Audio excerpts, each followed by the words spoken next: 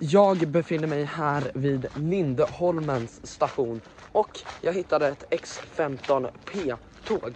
Och det här tåget ska inte avgå förrän om 27 minuter. Så jag tänker bara att eh, vi ska gå igenom det här tåget sakta och långsamt och bara titta runt och hitta massa saker.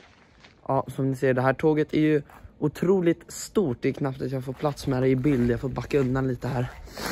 Det är gjort av Stadler eh, och den här vagnen har nummer 705B. Jag tror den första har 702 så det här är väl den tredje vagnen som har gjorts. Jag har kollat runt lite här, lite information om det här tåget. Tåget är 59 meter lång. Det är uppdelat i tre partier. Ni ser därifrån till dit är ett parti och det finns tre stycken. Det fälls alltid ut en ramp vid dörren och tåget har exakt 162 sittplatser. Tåget väger upp mot 100 ton och maxfarten är 120 kilometer i timmen. Det finns tre sådana här rullstolsanpassade områden på tåget. Här kan man även sätta fast sin cykel och barnvagn eller rullstol om man vill med hjälp av dem där.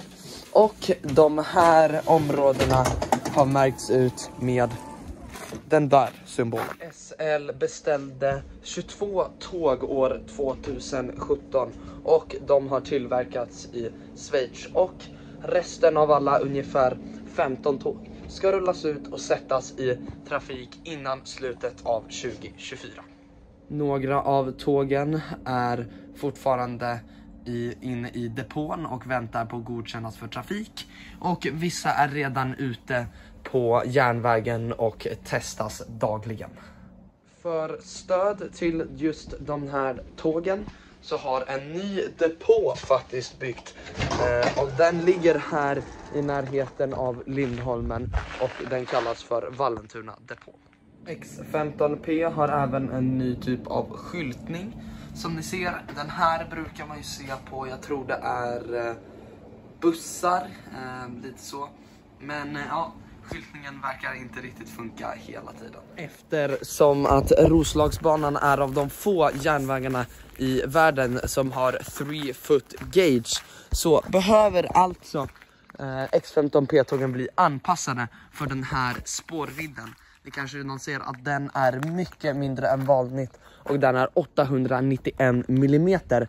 Standarden i världen tror jag är runt 1400 så den har en dubbelt så mycket.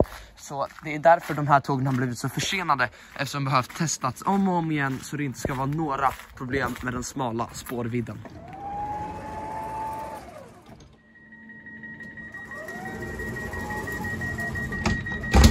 X15P-tågen har även den här nya typen av att skriva på de här skyltarna.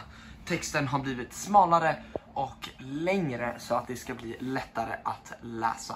Och så har ju det här tåget såklart ladduttag. De har inte USB utan man måste ta med sig en egen laddklump.